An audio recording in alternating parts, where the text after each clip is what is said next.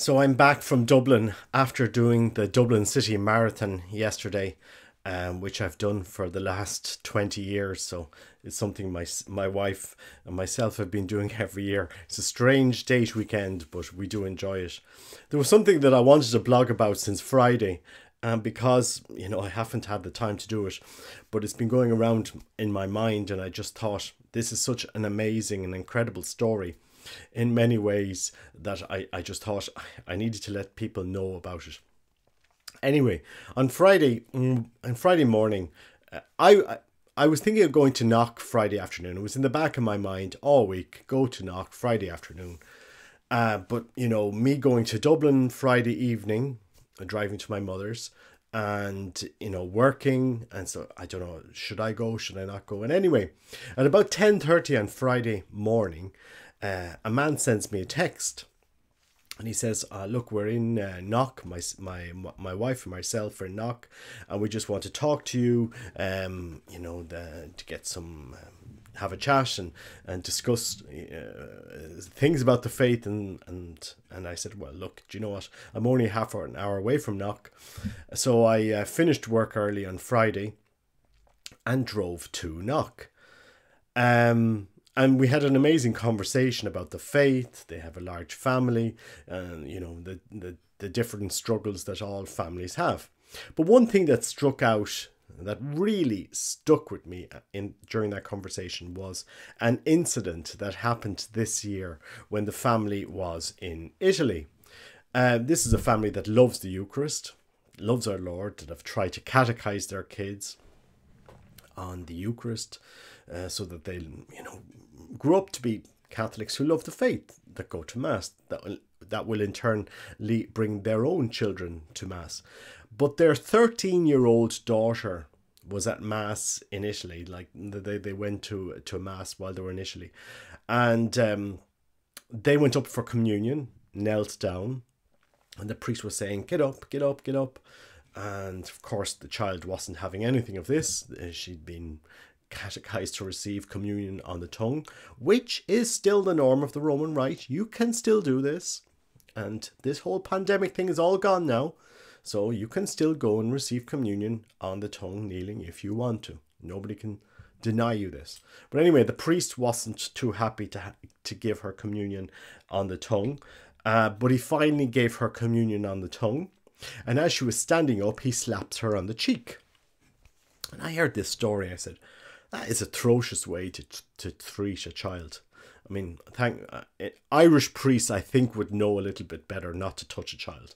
But this Italian priest, I don't know what was going through his mind that he felt he had to slap her because of her reverence for the Eucharist.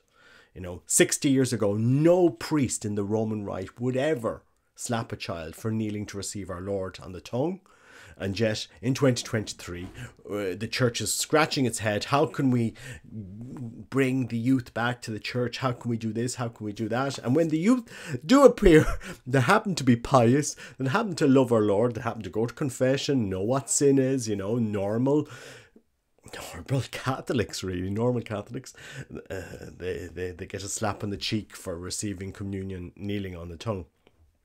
So I said to the family, look, I, I was going to blog just about that. So, you know, I wasn't going to talk about the family too much, you know, you know, their private family life. But I, I, I just thought, you know, that was really, it really is sickening.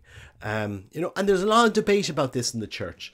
There's a lot of debate about how we how we should receive communion. There is this thing, oh, we should go back to the way the early church did this, the early church did that. It's as if for two thousand years the Holy Spirit was completely, completely absent from the church. And, and it's only the early church that can save us now. If we just do what the early church did, forgetting about, you know, saints like Saint Teresa of Lisieux, how she would have received communion. But anyway, this is the madness you have in the church. They're scratching their heads trying to get the youth into the church, engage the youth with the faith. And when youth do get engaged, oh no, no, we don't like that type of engagement. That's too traditional. Kneeling to receive our Lord in tongue, that's too traditional. And on the other side, you know, oftentimes we criticize the traditional movement because they say just go to a traditional Latin mass, don't be going to the Novus Ordo. and I've I've never said that. I've never said to families uh, avoid the Novus Ordo. I said, you know, we should always go to mass. The mass is the mass. But if they're going to slap your child on the on the cheek for wanting to receive communion kneeling in the tongue, I'm, some families would rethink what where they're going to bring their kids to mass to, especially if they're on holiday. What type of reception are you going to get as a family? You know, um, you know, it's it's a mixed bag. I, I'm just saying this, and I've been refused communion uh, for wanting to receive on the tongue. Um, and I've never protested, and I've never, and I've just politely asked. But you know, I think it's it's it's a very sad situation, and we see this on media. We see it in bishops in Brazil, uh, priests in different places. We see it in the Vatican. You know that they, they refusing to give communion on the tongue. It's not isolated. It's not isolated incidents. You really see a divide in the church, in the Roman Rite, on how we treat the body, blood, soul, and divinity of our Lord. And I don't, I don't understand this divide at all. And it's not like I'm making a political statement or trying to divide the church.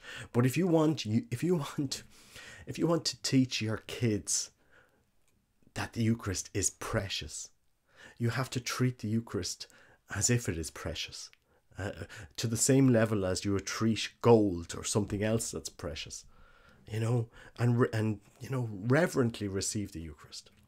Reverently, there's a beautiful, it's a beautiful tradition in the traditional Latin Mass to go up and receive the Eucharist. You know, you go up, you kneel down, you close your eyes, you open your mouth. Um, you don't have to say Amen because in the old rite you didn't. The priest says the Amen. Our Amen doesn't make the Eucharist more Eucharist or less Eucharist. It is the body, blood, soul, and divinity of our Lord Jesus Christ. And a good catechized person will reverently receive our Lord and and you know and enter into that to that beautiful unit of prayer uh, you know in, in the mass but you know all of the we seem to be we seem to have lost these beautiful ways of receiving communion in the church but I do think that that girl was very brave to show reverence, to kneel before the king. Because in between the priest and that girl is our Lord Jesus Christ. You know, the priest acts in persona Christi. And Christ would never have slapped that girl. Never. Never. You know, that priest is holding the body, blood, soul, and divinity. And he is there to minister in persona Christi and to bring that. Know, I'm not going to say the diocese in Italy or, or, or, or cause a storm in the church and put the bishop be invaded. This story will go out, and it's an actual story. It actually happened. It was an Irish 13 year old girl this year on holidays in Italy. Um, and actually, during the same mass, they were saying because there was a there, there it's a large family. They also saw the host being dropped on the floor during another another person was receiving communion. The host was dropped on the floor. So I mean, we do have a bit of craziness going on in the church that we actually don't know what how to reverence our Lord in Eucharist. Um, but this is where the story really got interesting for me.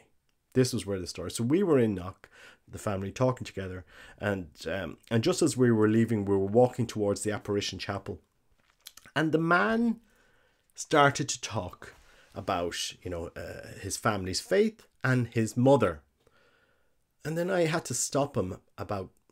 I was there in the plaza. I said, "So that is your mother," because on Wednesday evening I had been reading about a particular lady here in Ireland who had, uh, uh, and I'll do a whole episode on this because I, I need to do it justice, but I've been reading about this man's mother. And I was thinking, God, I shouldn't get in touch with her to see if I could do an interview. I'd love to expend out on the story because she had an amazing story, this woman.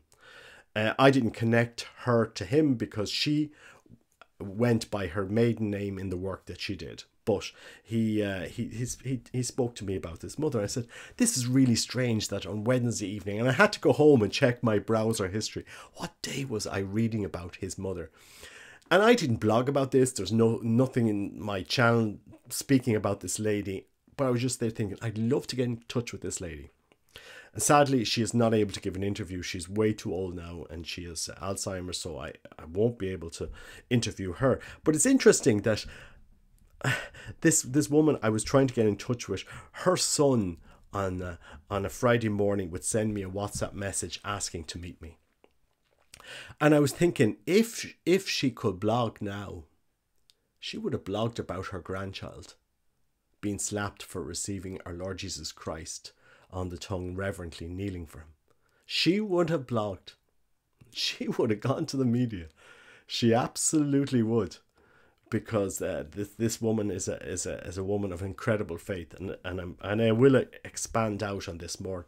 But I can also see the hand of Our Lady in this whole story. It was really strange. It was it was like heaven sending a message that me reading about her, this lady and then speaking to her son two days later uh, and then the story about uh, about the, this girl her granddaughter you know it was just amazing. And, I, and I'll do a whole episode on this because it, it it it does it just what I'm saying now doesn't give it justice but I just want to just want to uh, just to give you that story of that girl who was slapped for receiving communion on the tongue you know aggravated. You know you don't have to do this in the church. And I know many priests that offer the Novus Ordo would never do this. But lots of priests aggravate people who want to reverence the Eucharist. They make it as awkward as possible for you to receive communion kneeling on the tongue. They'll either stand two steps up on the on they will make it awkward. They will, oh no, no, in this church we all receive on the hand. We, we want uniformity here, no communion on the tongue. They don't promote it. They, they, they go out of the way to remove altar rails, for example, and make sure and aggravate people as much as possible to get rid of reverence for the Eucharist. You know, the kneeling and receiving on the, the tongue is an outward sign of an inward uh, encounter with Christ. And for our kids, it's a catechesis in itself. It shows we physically believe in this incredible divine presence in the Eucharist, and that's why I keep I keep talking about this. Um, and again, it's not a sin to receive communion on the hand. Um, you know, the church has permitted this, but has these Eucharistic reforms in the last 50 years given any fruits in the church? No, they haven't. No, they haven't is how we reverence the Eucharist in practice, given any uh, fruits in the church. No, we haven't. We saw late in the closing mass of the Synod of Bishops in Rome that they have removed the cross from the altar. Now they put the processional cross beside the altar. But I asked myself, okay, it was good enough up to now to have a cross on the altar. And I went through all the different photos of the different years. Paul VI, cross on the altar. Pope John Paul First cross on the altar. Pope John Paul II, cross on the altar. Pope Benedict, a cross on the altar. Pope Francis, there was a cross on the altar during the Mass. And all of a sudden, for this synod and synodality, the cross on the altar gets removed. And they put the processional cross to the left of the altar. You know, us Catholics are wondering what is so wrong with you know reverencing our Lord in these ways. You know, you look at the Orthodox world Easter, they have a cross on the altar. You know, we're all about synodality. We're all about you know trying to um to dialogue with, but like when we've turned the liturgy into God knows what, in reality, it's not engaging. And we can see, priests can see this, bishops can see this. It's not engaging because it's becoming an entertainment session. You know, and unless it's entertaining, you know, you know, we have to bring people to a personal encounter with Christ. You know, that's what the Mass is the praise and worship of God. Um, but it's interesting times in the church. Anyway, I leave this video here for future generations. This actually happened, and we'll blog about it more in years to come. There's a whole story behind this um, this family which you know I, I thought was fascinating but it was i just thought isn't it amazing you know the hand of our lady in something like this? And uh, you know I, I just couldn't believe it when I when I when I finally realized who this family was. And I said wow wow. You know two days ago I was saying I should contact this lady. And then the son contacts me and he wouldn't have known this. So it was like the sign that I knew. I knew I could see the hand of God in this, you know, of all the people to contact me, and you know, Uh, it was her son and his her son, and then and then me thinking, gosh, if if this woman was able to blog today about her grandchild, her grandchildren, I'm sure she would. I'm sure she would, because I don't think she'd stand to allow her granddaughter to be slapped in the cheek for kneeling to receive communion on, on the tongue. But anyway, these are the strange times we live in. Pray for the church. Pray that our leaders and our bishops and our priests see what they're doing and understand what they're doing. You know, uh, we don't have to. We don't have to treat the body, blood, soul, and divinity of our Lord like like this. We don't have to. We don't have to treat people that want to reverence the Eucharist, um, because there are there are many, I would say millions of Catholics around the world that will never receive communion on the hand. Never. I would never. Never. I said if it's good enough for, 50, for well over a thousand years to respect our Lord in that way, it's good enough for me. If it was good enough for people during penal times in Ireland, it's good enough for me. And, uh, you know, I just think we should show that we actually believe that it is the body, blood, soul, and divinity of our Lord. You know, maybe someday we'll see priests bring back the paten so that if the Eucharist does fall, it, it, it doesn't fall on the ground. Maybe we could have a paten brought back. You know, these things that the church has been racing to get rid of for the last 50 years patens and altar rails and reverence, you know. And then we're wondering, oh, why in Germany are hundreds of thousands of Catholics leaving the German Catholic Church? Why are they doing that? Because they never we, we never brought them to Christ in the first place. Pray for the church. God bless you. Take care. Bye bye.